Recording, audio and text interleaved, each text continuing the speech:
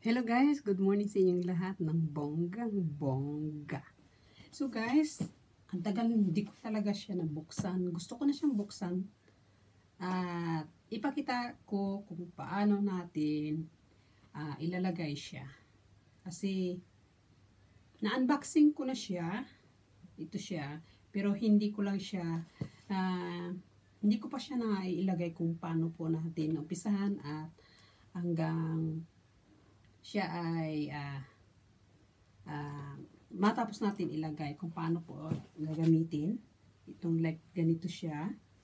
So yung mga tools niya, sa isahin natin guys. Kasi tingnan ko sa may meron sa kanyang uh, instruction dito guys. Tagal ko na siya gusto siyang uh, gamitin to kasi gusto kong magkanta-kanta guys. So, gamitin natin to kasi sayang nabili ko ito na hindi ko man siya magagamit. So, dahil mahilig-hilig ako magkanta-kanta-kanta. So, ayun guys. Ay, sorry. Lumipad na. Ayan. Ito, gagamitin ko na talaga siya. At gusto ko nang magkanta-kanta. So, ito po ang kanyang uh, nice para sa voice natin. At ito po ang kanyang keepers na paano gamitin. Saka ito.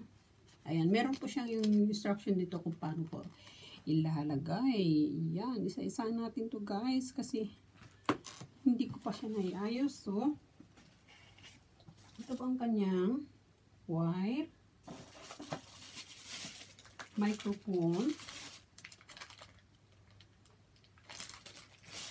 then, Saka ito yung cover ng ating microphone. Lagyan natin dito. Saka ito yung kanyang stand. Tama ba? Diba guys? So, ayan. So, buksan ko muna siya para mailagay na natin guys. Ay, kasi excited na rin ako mag-gamit ito paano gagamitin at ano yung mag-upisa ng kanta-kanta na. Saka ito yung kanyang lock para sa kanyang stand. Yan guys. Then, at saka ito yung para sa control ata sa uh, microphone. Tano? Oh.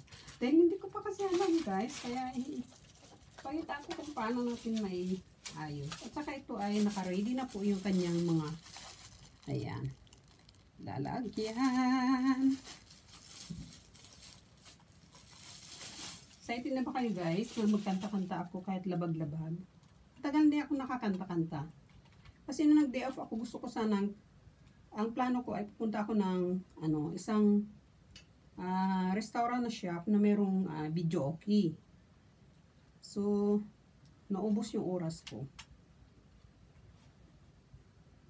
So, uh, ito na naka-ready na po siya. So, ito, may nakalagay dito kung paano po natin gagamitin. May nakalagay yan dyan. So, may pangalan siya. Ayan. Live Sound Card B8. So, ito po ang kanyang control. At saka yung umiiko, ito po siya. Then, at saka yung treble, ito po yung treble niya. Ang kanyang bass at saka record. Then, music. Then, uh, mo monitor niya, nandito yung monitor niya. So, tapos yung may nakakulay dito na red. Ito po siya guys. Ay Itong unang red ay si Electro. Yung isa naman ay Peach. Peach Bean. At saka yung pangatlo is Elimination. And pang-apat ay yung Shock. Shock uh, Way. At saka yung panglima is yung MC. Mic. Then, yung pang-anim ay yung dog. Doggy. Ba yung pagbasa niyan? Then, dito tayo sa next ay yung kanyang char-char. Ayan, char.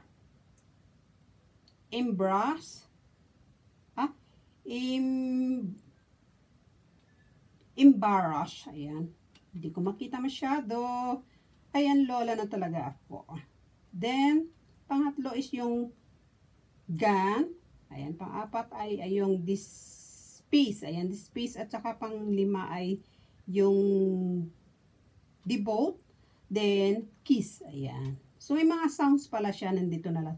Yung kanyang tawa nandito, laugh, clap, clap. At saka yung pay attention. Then, next ay yung kiss din, na ibang klaseng kiss. At saka yung uh, song 1 and song 2. So, guys, nakaready na po ito siya. So, meron lang kulang dito na isa na wire na need siyang ilalagay. So, kailangan kong bumili ng isang wire niya. Kasi yun daw ay, ay connection sa kanyang, I think, nakalimutan ko. Sabi ni Kabayan, sa USB. Tama ba? So, dito meron kami dito. Sa shop dito, marami dito. Kasi dito, marami ng display. Kaya anytime, kung ano pong kulang sa mga kailangan ko, ay dito na ako bumibili. At saka ganito, meron na rin din silang stock. Ito that time na binili ko ay nasa Kuwait City pa ako. Nag-day off ako, doon ako bumili. So ngayon, dito meron na silang stock. So dito sa amin kasi ay kumpleto na. Marami na dito. So ito na ngayon siya guys.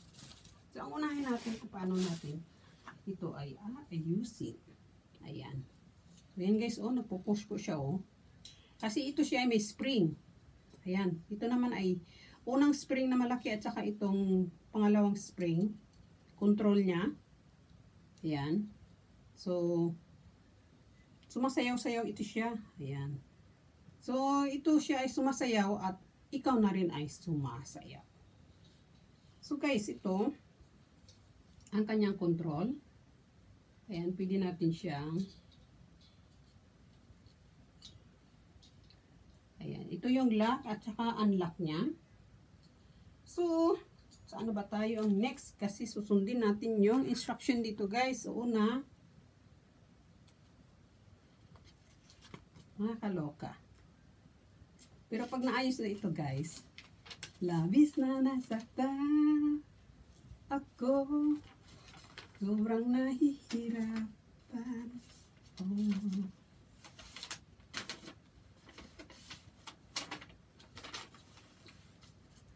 Yan. Ito, kung paano natin aayusin.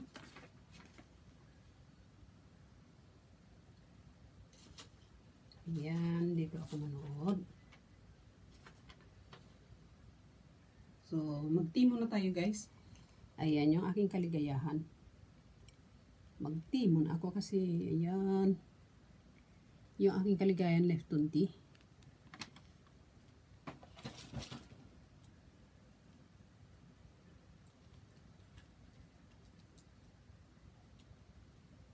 Nagti ako na without uh, sugar.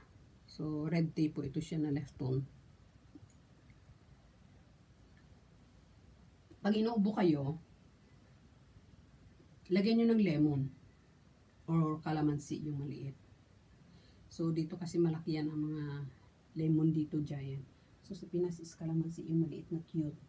So, lagyan nyo maganda, masarap siya, mas uh, maganda sa, sa, sa ubo natin.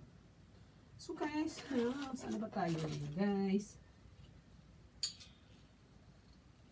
Bakit nagka ganito? Excited na kayo? Excited na rin na akong kumanta kung guys ba? Ah, paano ba to? So ito. Sinitinuroan ako nito. Nakalimutan ko na kung saan ko ilagay. Sabi ko, tingnan ko na lang sa ano. So, ito po ang kanyang step natin una. First step. Okay? At least ay naka-step na po tayo ng isa.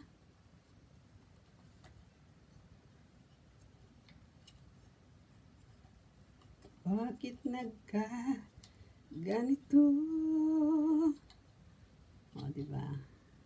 Ayan siya guys. Excited na ako. Ayan. ayan na siya guys. Unang step ba lang? Sa pangalawang step na tayo. So, ayan. Buksan natin itong isa. Kailangan natin ay alamin. Ang hindi po natin alam, kailangan ay kailangan natin na malaman at gagawin po natin. Kasi hindi po tayo, ah, hindi po natin gagawin, hindi po natin malalaman, di ba guys? So, ang gustong magtanong, tanongin, gustong malaman. Kaya nang nagtatanong tayo para at least gusto natin malalaman, di ba? So, sa tama ba to? Ayan, sa to step ko ngayon, saan na ba ako ngayon? Paano to? Kasi hindi ko alam kung ano ang paggamit nito guys. So, baka dito tayo siguro guys ba?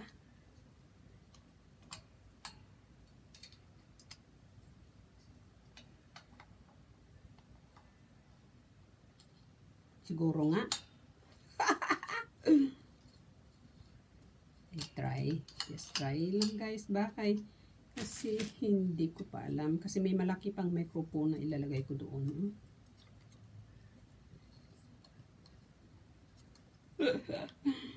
guys. Ano pong una kong gagawin nito guys ba? Kasi yun is tama naman to kasi ayan ang kanyang lalagyan. Kailangan naka first step, second step na po ako talaga. Oy.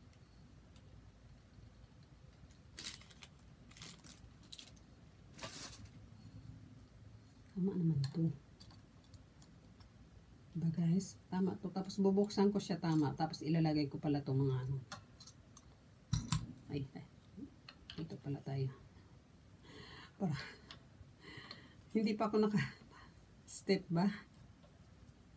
Ayan. So, i-back natin guys. Ba kasi step 1 na ako nito eh. Okay ni siya. Nakakaloka. So, ayan na siya guys. So, ang tanong sa pangatlo, pangalawa, kung saan ko ito ilagay. Kasi ito siya ay, ikutin mo lang siya at aakyat po ang mundo niya. Oh, guys, parang naubos na yung oras ko. Mag, uh, part 2 po tayo, ha? So, at least naka one step na po ako. So, thank you, thank you so much sa inyong lahat kasi excited na rin akong kakanta, guys. So, di ba? Don't tell me that you love me. Kaya see you bye and my part 2.